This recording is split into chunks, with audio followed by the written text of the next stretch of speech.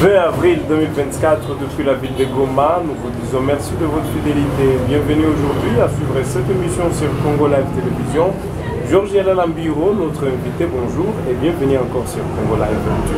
Euh, bonjour David, bonjour tout le monde, bonjour tous les Congolais de partout où vous vous retrouvez.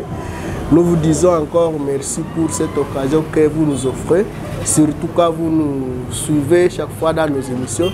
C'est aussi une très grande contribution. Et nous vous disons encore bonne journée, surtout bon week-end. Comment allez-vous, M. Jean? Nous allons bien. On commence déjà avec la diplomatie en RDC. Je rappelle ici, il y a les ambassadeurs de l'Union européenne qui séjournent à Goma. Depuis quelques jours, hier, ils ont fait un point de presse où euh, l'ambassadrice de la Belgique en République démocratique du Congo en a encore appelé la République démocratique du Congo de venir à table avec le Rwanda car d'après elle, elle estime que la solution militaire ne sera jamais, alors jamais, une meilleure solution pour rétablir la paix à l'est du pays. Que pensez-vous à cela? Moi, je pense que l'ambassadrice de, la Belgique, elle n'est pas. Bon, c'est comme si elle n'est pas disposée à dire ce qui a toujours été dit par le président de la République. Le président Félix l'a toujours dit, il le répète chaque jour. Je suis prêt, ou encore très prêt, à rencontrer Kagame, mais sous certaines conditions. Et d'ailleurs, la grande, la seule condition, retirer ces hommes et puis amener ces, renégats, les autres qui se disent congolais, dans le cas de cantonnement, et on se croise.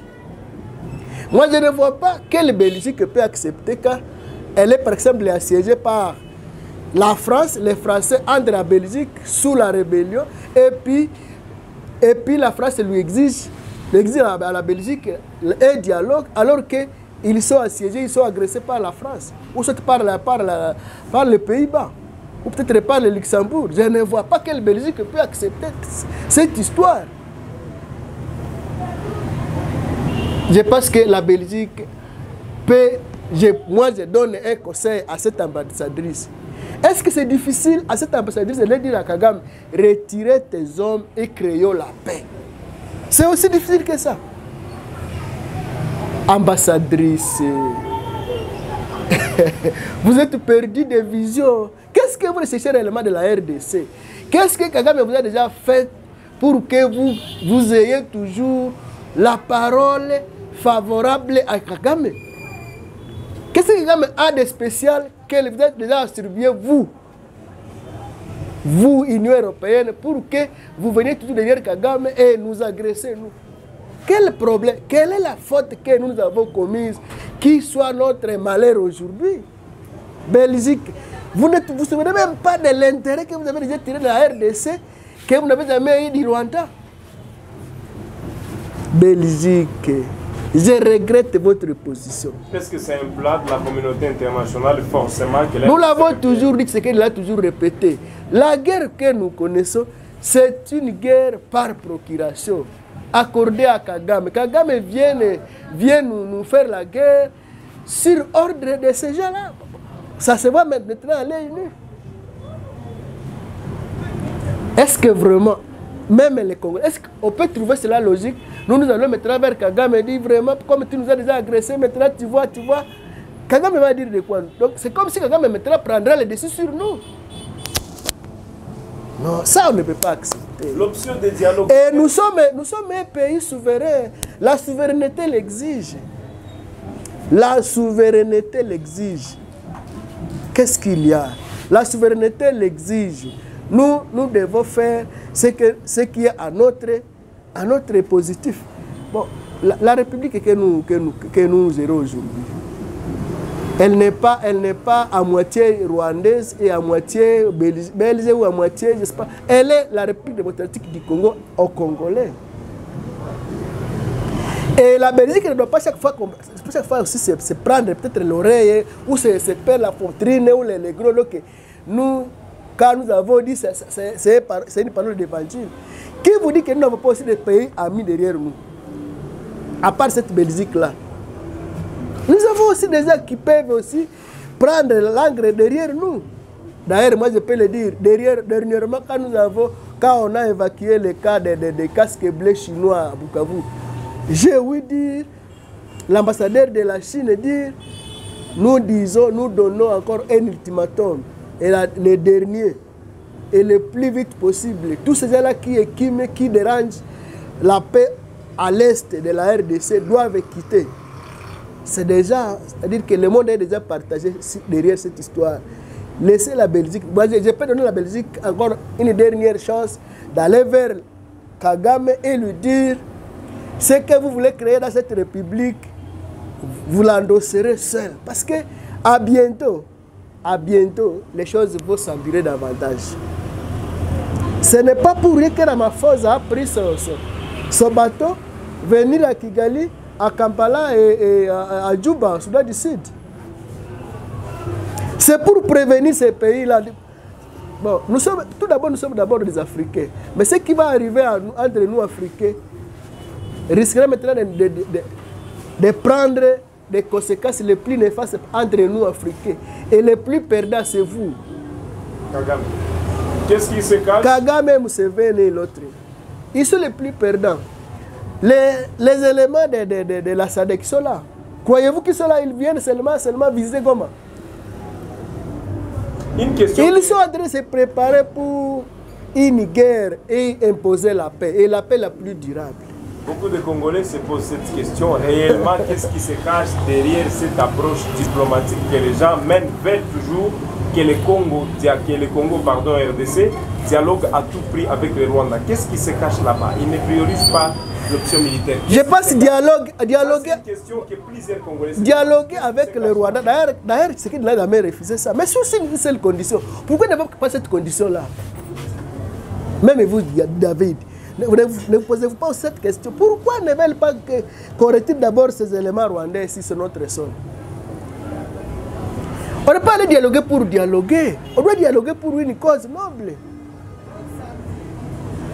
Et pourquoi Kagame ne veut vraiment pas retirer ces hommes-là? Qu'est-ce qu'il y a derrière ça? Si vous et moi nous nous demandions cette question, qu'est-ce qu'il y a derrière cette histoire? Kagame, Pourquoi Kagame ne, ne voit que seulement ces hommes restés sur le sol congolais?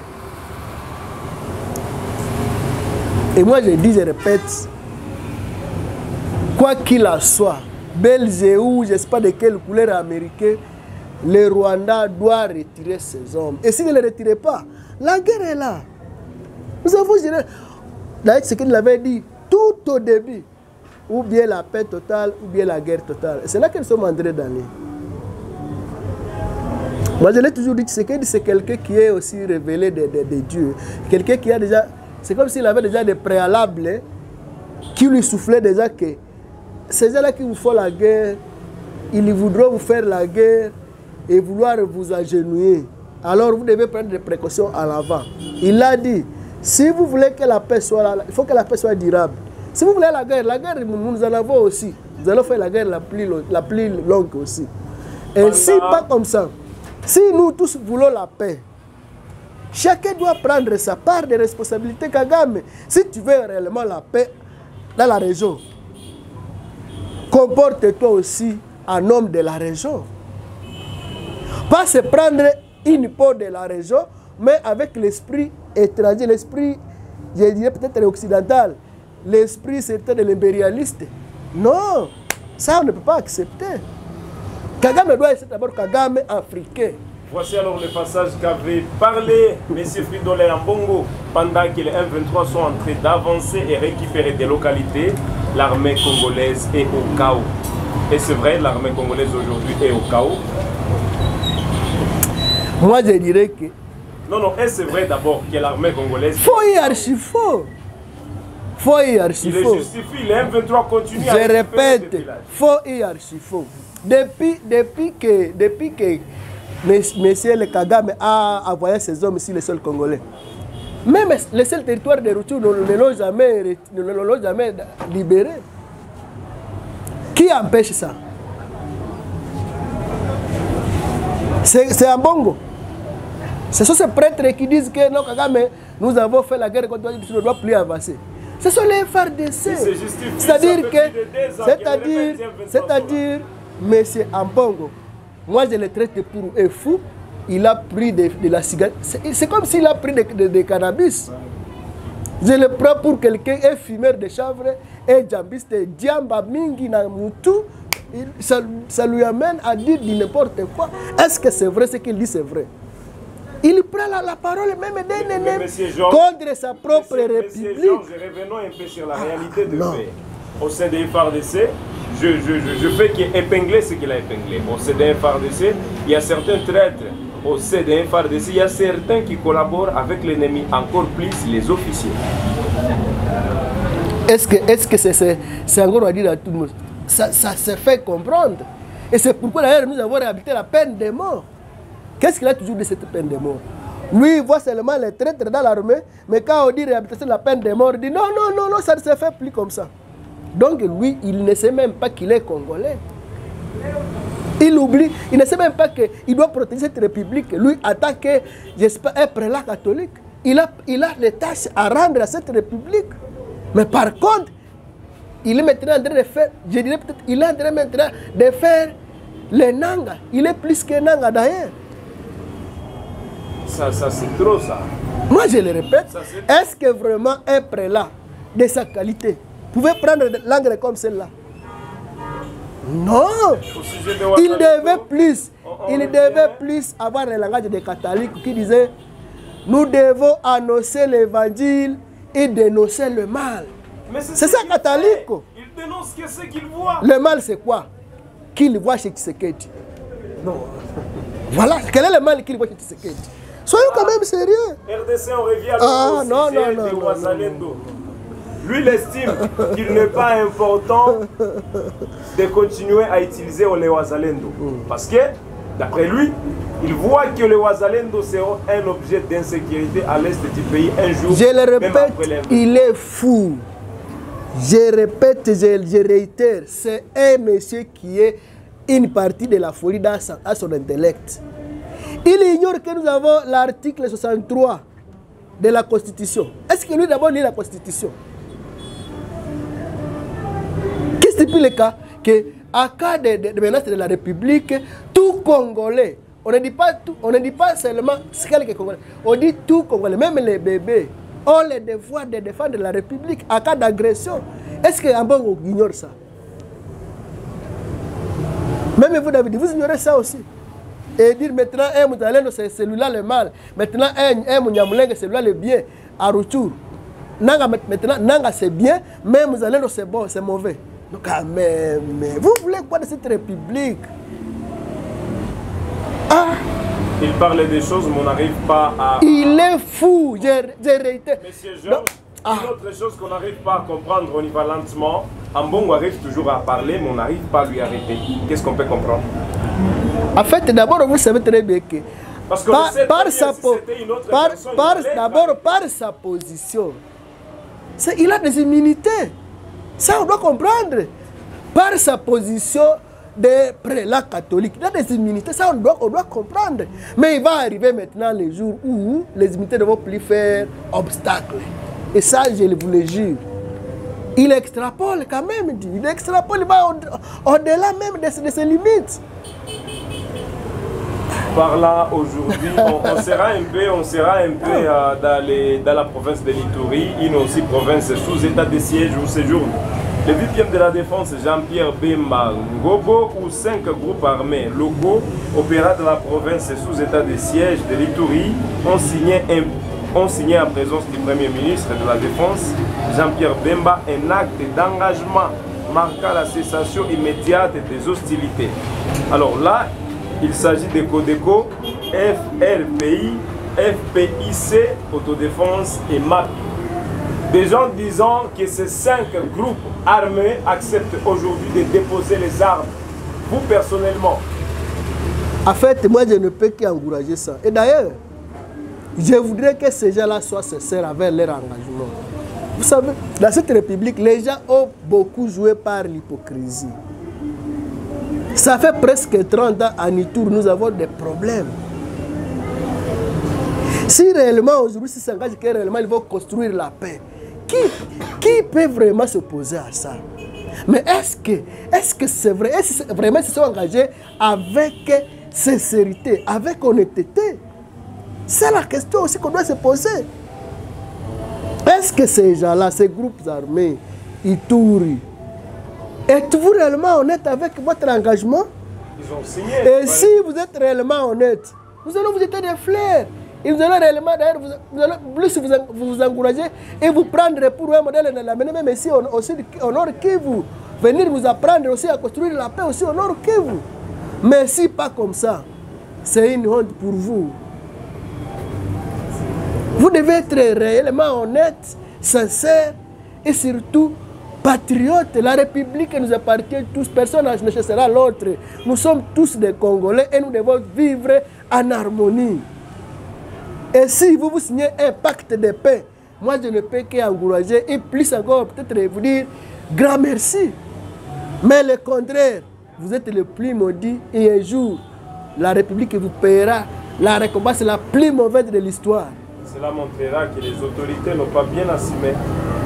Ce n'est pas comme ça. Quand toi tu voles l'habit d'un ami à côté de ta maison, il y a l'autorité qui est dans ton cœur. Faire, faire porter les fardeaux aux autorités, c'est une autre chose. Et maintenant, l'autorité qui est venue assembler ces gens-là, ce n'est pas aussi une autorité congolaise. Nous ne devons pas chaque fois porter tout au dos des, des- des autorités. Ça, non. C'est comme nous sommes à Goma, n'est-ce pas Avec tout arsenal, tout, tout, tout, tout, tout, tout. Mais on voit encore certains affaires de Goma qui commencent à faire la mort à d'autres affaires de Goma. Nulle part l'autorité ne peut encourager de telles choses. Mais quand c'est déjà fait, maintenant on dit c'est l'autorité. Quelle autorité, mon Dieu? On va finir alors aujourd'hui ici par l'union sacrée. Monsieur Georges, depuis son existence, quel bilan accordez-vous à l'union sacrée aujourd'hui? Tout d'abord, l'union sacrée, c'est quelque chose, vous savez, avec cette union sacrée, maintenant nous avons su Est-ce qui que est ça qui. nous a permis d'avancer Effectivement, de il y a déjà un avancement capital. Est-ce que vous savez qu'avec l'union sacrée, maintenant nous avons découvert qui est Kabila? Vous savez, avec Kabila aujourd'hui, Kabila déjà.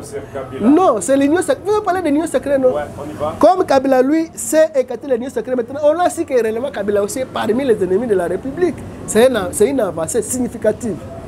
Même Nanga, aujourd'hui, avec l'union sacrée, nous avons su que qui sont pour les postes et qui sont pour l'avancement de la République. C'est aussi c'est des, des avancées. Aujourd'hui, Kamer n'est pas bien positionné. Parce que parce qu'il est en train de vouloir de faire quoi? De vouloir esquiver réellement la vision même de l'union sacrée. Et cela, nous, nous, nous, personnellement, nous, appelons cela une avancée. Ah, kumbe vile ndio unakuwaka Et ce sont des avancées. Et aujourd'hui, maintenant, nous sommes en train maintenant de faire quoi? De faire une fondation solide pour l'avancement de ce pays. C'est une grande révélation de l'Union sacrée. Nous devons aussi applaudir ça. À part ça, qui n'a pas vu la réélection du chef de l'État d'une manière massive? Ce n'est pas aussi une avancée. C'est aussi un grand bilan. À ce point, vous et Martin Fayou, Ah. vous ne participez même pas les mêmes points. D'abord, Fayoulou, Fayoulou c'est quelqu'un qui ne partage Vous, pas. avec Katumbi, ce n'est pas les mêmes points. C'est normal. Quelqu'un qui n'est pas qui n'a pas l'idéologie de l'union sacrée, il ne peut que trouver l'union sacrée pour un bloc d'écartement des, des- des- des- des ennemis de la République. Imaginez par exemple quelqu'un comme Fayoulou, que moi j'estime beaucoup. N'est-ce pas que c'est lui qui nous a dit qu'il n'y aura pas élection, même vos mes députés n'allaient pas déposer vos candidatures. Qu'est-ce qu'il a, a fait d'avancement pour la République? Et aujourd'hui, certains de ces députés sont malheureux. Est-ce que réellement il, a, il- avait réellement l'esprit de la République? Katumbi de même, il disait non, non, VAR, VAR, VAR. Bon. On finit, on finit. Et il dit, on a bien aventuré, mon frère. Raison pour laquelle on revient avant la sortie, avant la sortie du gouvernement, avant la sortie du gouvernement, c'est par là où on pourra mieux juger le président s'il va échouer, s'il va réussir. Quel est votre mot? Moi, je le répète, je le dis. Tu sais qu'il dit, c'est quelqu'un qui est un envoyé de Ça Dieu. dépendra de l'équipe. Tout ce qu'il fait, il le réussit. Ça, moi, je vous le dis. Avec Kazadi, avec Nicolas. Dernièrement, est-ce que vous n'avez pas vu que avec ce qu'il dit, maintenant nous avons su que il y a des personnes qui ne méritent même pas être encore au gouvernement. C'est à partir de ce qu'il dit, non? À partir de lui, c'est... Ah, On mon- finit, mais- Messieurs Georges, on finit. je, vous, je vous dis que nous devons avoir tel comportement, mais je vois les autres, et automatiquement, c'est-à-dire qu'il est réellement quelqu'un qui est envoyé de Dieu. Vous savez, là où il y a Dieu, les ténèbres se brisent d'elles-mêmes. Et c'est ça qui se dit. Merci, Monsieur Georges. En tout cas, je vous remercie. On finit par un message à ces militaires qui sont en train de faire front au Dien 23 à Boalanda. On finit un message par là. En fait, euh, nos FRDC, accompagnés des des- des combattants que nous appelons les Wazalendo, les vrais FRDC plus les Watoto wa Nyumbani, je vous dis grand merci. Je n'ai pas beaucoup, je manque même des mots pour exprimer ma grande gratitude envers vous. En tout cas, je vous dis simplement merci. Merci, Monsieur Georges. On finit avec votre numéro, s'il vous plaît. Euh, nous sommes en contact plus 243 9 79 27 31 68. Nous vous disons merci de votre fidélité, de partout où vous nous trouvez. Merci d'avoir encore suivi cette émission. Georges Yala Lambiro était notre invité. Merci. Excellent week-end à vous et à la prochaine pour d'autres actualités. Ok, merci.